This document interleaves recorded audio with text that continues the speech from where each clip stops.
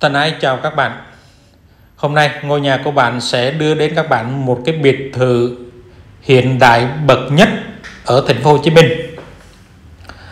Với những cái đường nét tỉ mỉ chi tiết, à, gia chủ đã để hết cái tâm huyết vào cái căn biệt thự này. À, và sau này sau đây mình sẽ giới thiệu với các bạn từng cái à, phòng ốc cụ thể, à, những cái trang trí Ờ, của từng cái khu vực phù hợp với căn biệt thự hiện đại bậc nhất. Thật là trang ngợp các bạn nhớ theo dõi video cho um, nho trọn vẹn. Hôm nay mình quay hơi dài. À, mong các bạn à, à, đón nhận nó. Biết đâu các bạn sẽ có những cái góc để à, à, trang trí cho ngôi nhà của mình. Trước khi đi vào chi tiết các bạn nhớ đăng ký ủng hộ kênh. Cảm ơn các bạn rất nhiều đây thì căn biệt thự này nằm ở à, phường 9 Gò Vấp. Đây là cái đường à, cây trâm. Bây giờ là Nguyễn Văn Khối. Trong một hướng à, đi về chùa Nghệ Sĩ đi ra Quang Trung. Nguyễn Oanh đi về Lê Văn Thọ. Và cái hướng ngược lại thì đi ra đường Quang Trung, đi ra Mercedes Isuzu, đi ra sân bay. Đây, thì cái căn biệt thự này cách cái mặt đường cây trăm chừng khoảng 30 mét. Mời các bạn đi theo mình để tham quan cái căn biệt thự có 102 ở khu vực quận Gò Vấp.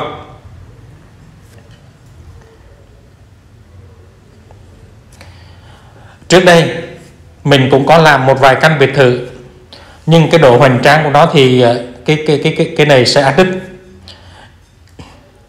Đây là cái mặt tiền đường cái mặt tiền của cái căn biệt thự này đó các bạn nhìn thấy đó. Toàn bộ cái mặt à, mặt tiền và mặt hông đều chạm trổ những cái bút phù điêu à, à, đường nét rất là tinh tế. Đó thì à, mời các bạn bước vào nhà. Cái căn biệt thự này thì à, gồm có một tầng hầm một tầng trệt và bốn tầng lầu. Thì đây là cái tầng hầm. À, bước vào cổng bên trái của chúng ta là có một cái bức à, một bức tranh cũng đúc luôn nha các bạn ha bức đúc. Nó rất bền với thời gian. Bên tay phải là cái hướng để đi lên cái tầng trệt. Và cái hướng đi thẳng xuống là cái hướng ờ, tầng hầm. Đó bên tay phải bên đây là hướng đi vô nhà. À, có hai con hai con lân các bạn ha. À, canh cửa. Đó các bạn nhìn thấy cái đá này đá này là cũng thuộc lại đá nhập cho các bạn ha cái này thuốc hạ đã nhập. Với cái diện tích căn nhà là chiều à, ngang của nó đó là 8m07 à, nửa hậu là 8m22 chiều ngang các bạn ha. Dài là 20m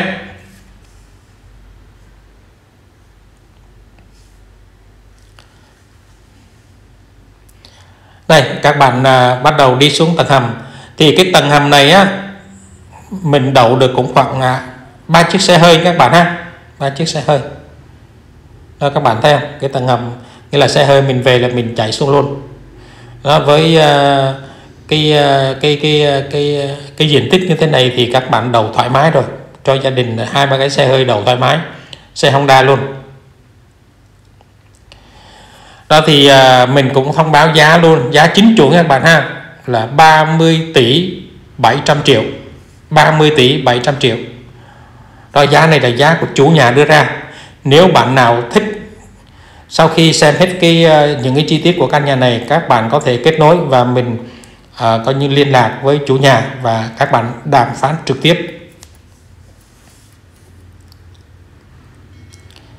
30 tỷ 700 triệu. Đó thì ở dưới cái tầng hầm này là có một cái phòng karaoke phòng karaoke. Và cái phòng này người ta làm trang trí trong phòng đầy đủ hết nha các bạn ha. À, về cách âm à, về cách âm rất tốt tiêu âm cũng rất tốt. À, trong này nó có những cái bức tranh đá nuôi lửa à, để mang cái vượng khí tới trong ngôi nhà. Đây là những cái bức tranh đá các bạn ha tranh đá nuôi lửa đó. Rất là đẹp nếu các bạn khi lên đèn rất là đẹp. Đây là những cái tranh để mà tạo cái vượng khí cho ngôi nhà đó đó thì cái này cũng trang trí bằng gỗ và chỉ điển. Cái này là tiêu âm rất tốt. Nếu các bạn nằm, ngồi trong phòng này mà ca và hát, thì cái âm vang rất là rất là tốt và nó trong, nó được lọc đi những cái tạp âm rồi.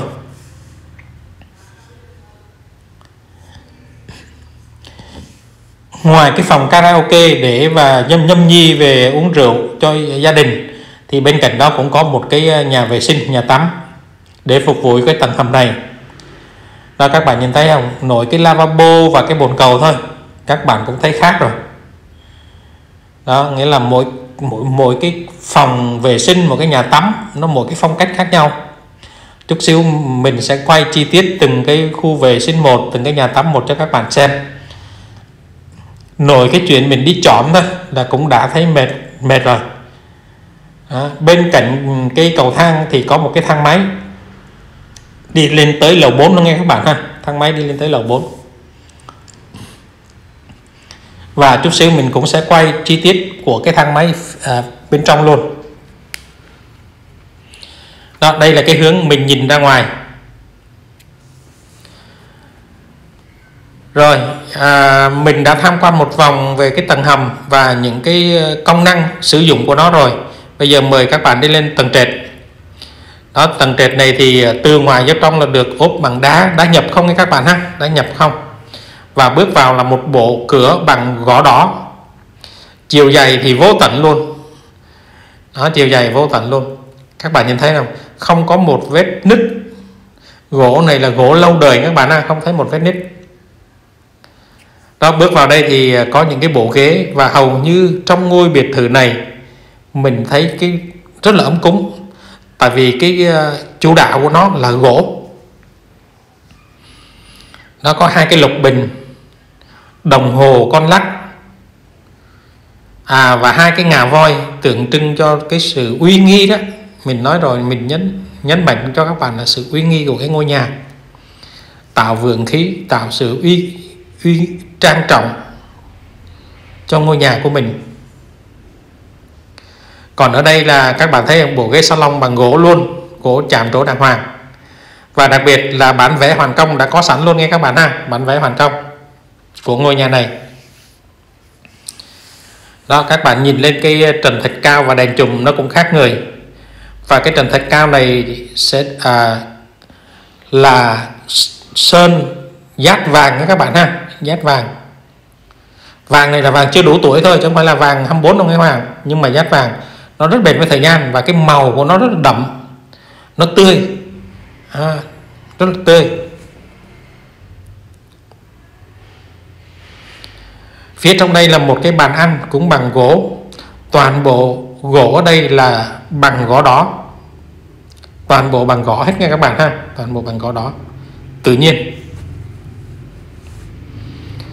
À, tiếp vào cái à, phía bên trong là một cái quầy bar và khu vực bếp.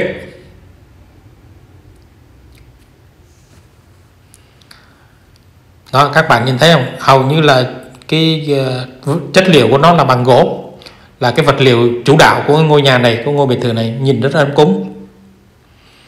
Đó tủ trên tủ dưới cũng đang đều bằng gỗ tự nhiên bằng gỗ đỏ. Cái mặt bếp đó là bằng đá các bạn thấy không? Đá này cũng thuộc loại đá nhập. Đó, kính ốp bếp cái màu cũng trang nhã. Có nghĩa là gia chủ đã đã tính từng chi tiết một cho ngôi nhà này à, từ phòng khách cho tới khu vực bếp từ cái lavabo từ cái vòi rửa. Các bạn nhìn thấy cũng khác lạ rồi.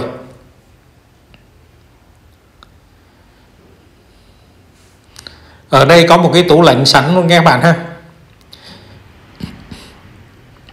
Mình à, cũng thông báo với các bạn là toàn bộ cái ngôi nhà này khi nếu các bạn thống nhất và mua được thì gia chủ sẽ giữ nguyên như vậy để bàn giao cho các bạn. Đó. coi như là giữ nguyên cái hiện trạng như vậy để giao nhà cho các bạn luôn không thay đổi một chi tiết nào hết. Đó, các bạn đứng nhìn trong nhìn ra các bạn nhìn thấy không? Đó mình uh, nghĩ là các cái à, doanh nhân à, các cái giới nghệ sĩ hoặc là những uh, à, nhà kinh doanh chẳng hạn. Nếu có tiền thì các bạn à, nhưng cái thời gian của bạn không có các bạn nên chọn cái ngôi biệt thự này. Không thiếu một cái thứ gì. Và các bạn không cần tốn thời gian công sức à, để mà suy nghĩ về nó tại vì nó hoàn hảo rồi. Đó các bạn nhìn thấy cầu thang không? Đá ốp cầu thang không? Cái len thôi người ta cũng à, suy nghĩ từng cái chi tiết làm sao à, để mình nhìn lên á à, nó hài hòa à, nó không bị góc vuông không bị gãy đó từng cái chi tiết một. Đó thì mình nghĩ à, những cái nhà kinh doanh những cái nhà doanh nghiệp sẽ không đủ thời gian để làm những cái chi tiết này. Mình thấy à, cái à, gia chủ này cũng có rất nhiều kinh nghiệm mà trong việc làm để co cái biệt thự. Đó, bước lên lầu một các bạn thấy không? Một cái sảnh rất lớn và có một cái bộ ghế sofa dùng để sinh hoạt chung cho gia đình. Trần cũng làm bằng trần vòm các cây họa tiết rất đẹp được dát vàng. Cái dát vàng này rất là bền với thời gian các bạn ha. Các bạn nhìn xuống dưới thì có những cái tấm thảm bằng gạch. Đó, từng cái vị trí. Gạch này cũng là gạch ngoại nhập nghe các bạn ha. Đó các bạn nhìn thấy không? Tấm thảm từng tấm thảm bằng gạch luôn. Nhìn rất là sang trọng.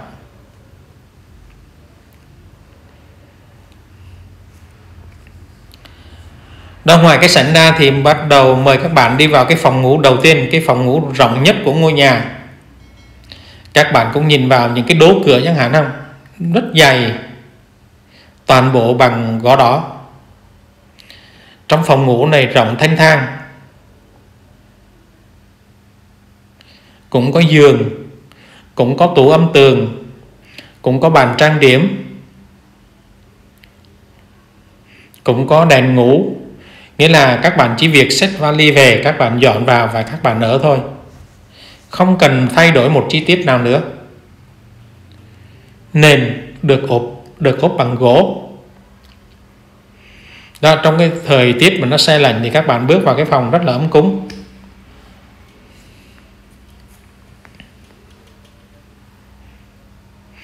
Mình nghĩ à, với cái thời gian không cho phép thì các cái nhà doanh nghiệp à, các cái giới văn nghệ sĩ hoặc là những à, người mà bận rộn với thời gian đó các bạn không thể nào mà đầu tư được một cái à, những cái chi tiết nó cụ thể như vậy được. Mình thấy đây là một cái căn biệt thự khá hoàn hảo. Đó, các bạn chỉ việc là vào ngắm nghía và chỉ việc xách một cái vali vài bộ đồ về là các bạn có thể là là sử dụng là ở được rồi. Đây là cái phòng ngủ khá rộng và phía sau phía bên hông sẽ có một cái nhà tắm. Đó, nhà tắm nhà vệ sinh. Đó cho cái phòng này các bạn nhìn thấy rộng không? Có phòng tắm đứng. À, có lavabo có bồn cầu. Đó các bạn thấy không? Nhìn trong cái nhà tắm này các bạn nhìn thấy không? Cái bồn cầu và cái lavabo cái vòi rửa cũng khác người rồi. Nó một phòng nó có một cái phong cách khác nhau à, từng cái chi tiết cụ thể từng cái màu sơn từng cái màu gạch nhưng nó không có mình nhìn thấy nó rất là hài hòa. Nó không có đậm màu à, nó không có có vẻ là nó nó nó nó cái gì đó nó sáng chói nhưng mà nó rất là hài hòa. Dịu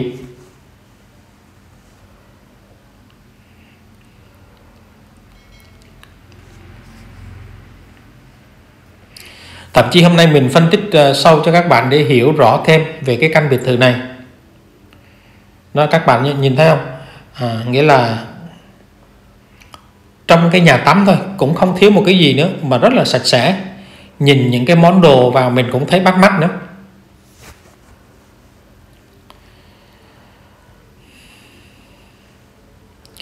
Rồi à, mời các bạn đi ra cái phòng ngủ phía sau.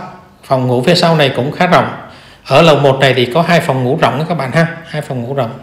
Ngoài cái sảnh sinh hoạt chung một cái phòng ngủ phía trước và một phòng ngủ phía sau. Và phòng ngủ phía sau cũng vậy không thiếu một cái thứ gì. Từ các cái họa tiết của các cái trần thạch cao à, trừ bố trí cái giường à, bố trí các cái bức tranh à, đều rất phù hợp. Bố trí cái bàn trang điểm à, bố trí cái tủ âm tường đó, rất là phù hợp với ờ, từng cái phòng một. Đó, mình sẽ mở cái tủ âm tường cho các bạn coi. Đó. Và phòng nào cũng có cái ờ, nhà tắm và cái toilet trong phòng này các bạn ha. Và mỗi phòng có một cái phong cách riêng khác nhau. Đó các bạn nhìn thấy không? Có những cái lavabo những cái bàn cầu nó khác nhau. Nhìn rất là bắt mắt đó, ở đây là có cái bồn bồn nằm đó các bạn ha bồn tắm nằm. Rất rộng rãi nhìn sạch sẽ. Đó, sau một ngày làm việc mệt nhọc mà các bạn về nhà là các bạn thấy rất là thoải mái rồi. Những stress được uh, xả đi. Nó mình bước vào cái ngôi nhà là mình cảm thấy là người nó nhẹ. Đó cũng là một trong những ờ, cái yếu tố để các bạn có được cái năng lượng làm việc cho ngày hôm sau. Đó tiếp theo là mời các bạn đi lên uh, lầu 2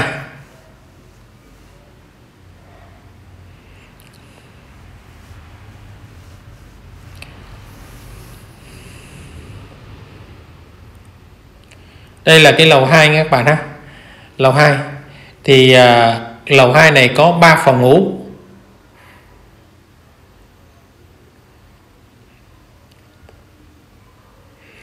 Nó mời các bạn đi ra. Đây là cái phòng ngủ à, phía trước. Cũng rất rộng. Nó giống như phòng ngủ ở lầu 1 cũng đầy đủ tiện nghi. Rồi các bạn nhìn thấy cái ổ khóa không? Ổ khóa số không? Ổ khóa từ.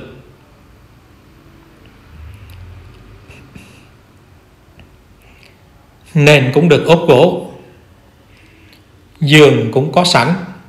Bàn trang điểm tủ ấm tường hệ thống đèn. Trần thạch cao. Các cái hoa văn của nó đều được uh, dắt vàng. Đó, ở cái phòng này có một cái bộ ghế rất rộng để các bạn uh, có thể uh, sinh hoạt ở trong phòng luôn. Mình đã nói rồi vào đây thì không thiếu một cái thứ gì các bạn nhìn là các bạn muốn ờ, muốn ở rồi và cái năng lượng nó tràn trề rồi. Đó thì ờ, phía sau này cũng có một cái ờ, nhà tắm nó giống như ở lầu 1 các bạn ha. Đó cũng có lavabo ha, cũng có bàn cầu và rất là lạ mắt ha. mỗi phòng mỗi nhà vệ sinh có một cái bàn cầu ha, một cái um, lavabo à, những cái hoa à, những cái hoa văn của nó rất là lạ và nó khác có bồn tắm. Và đặc biệt trong phòng này có một cái phòng sông hơi nha các bạn ha có một phòng sông hơi. Đó nghĩa là các bạn đầy đủ rồi mình đã nói rồi các bạn đầy đủ rồi. Đó đây là cái phòng sông hơi còn mới toanh luôn nha các bạn ha. Chưa đi vào sử dụng luôn. Không thiếu một thứ gì. Đó sau một ngày làm việc mệt mỏi thì các bạn về tắm rửa xong hơi xong biết mồ hôi nó ra. À, các bạn thấy sảng khoái liền và bước vào một cái phòng ngủ rất là rộng rãi. À, không phải ngộp không phải à, mình nhìn đi đâu cũng thấy đồ thấy đạt à, nó làm cho mình càng thêm khó chịu. Nhưng mà với căn biệt thự này các bạn nhìn thấy rồi rất rộng rãi và thoáng mát.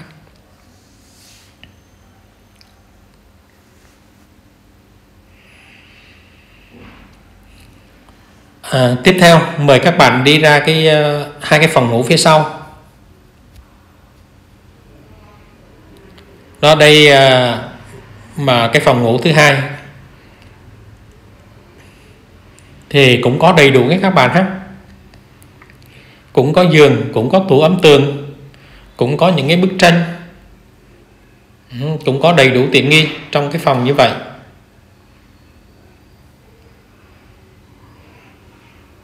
Đây đây là cái phòng ngủ thứ ba à, của cái lầu 2 này nó cũng đầy đủ có những cái bức tranh rất là lạ. Mình đã nói rồi cái gia chủ đã nghiên cứu rất là chi tiết à, từng cái vị trí một từng cái cm một để bố trí cái đó như thế nào để cho nó phù hợp. Đó, các bạn nhìn thấy không? Cái lavabo cái bạt cầu của nó cũng có những cái vẽ khác nhau. Đó thành thử là các bạn ngoài cái đầu tư cái thời gian à, và phải đầu tư chất xám và cũng có đầu óc thẩm mỹ, thì các bạn mới làm được những cái ngôi biệt thự như thế này.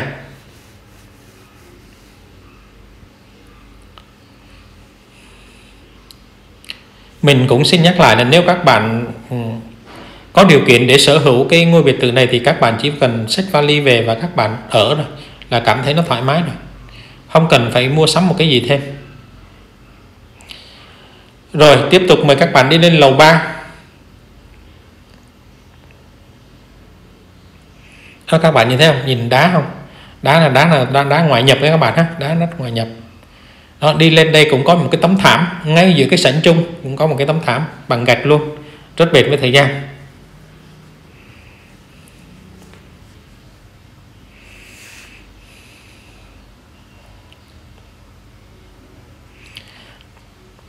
Thì uh, bước lên cái lầu 3 à, sau khi mình đi qua cái à, không gian sảnh thì phía sau là một cái phòng karaoke. Đó cái phòng karaoke này đầy đủ tiện nghi trong đây luôn nha các bạn ha. Từ tivi từ cái ờ, à, cái đĩa chọn nhạc à, cái máy chọn nhạc à, từ loa từ âm thanh à, từ đèn từ đuốc là đầy đủ hết. Từ ghế từ đồ tất cả mọi thứ đầy đủ cho một phòng karaoke đặc biệt và mình đã nói rồi thậm chí ở trong cái phòng này là có rất là nhiều góc cạnh và những cái chi tiết để gì để nó tiêu âm nữa các bạn. Để các bạn hát cái giọng các bạn ra nó rất là trong trẻo nó được chắc lọc. Ừ, nó không bị cái ờ, những cái tạp âm khác để nó à, nó, nó nó nó nó phá cái giọng của mình đi.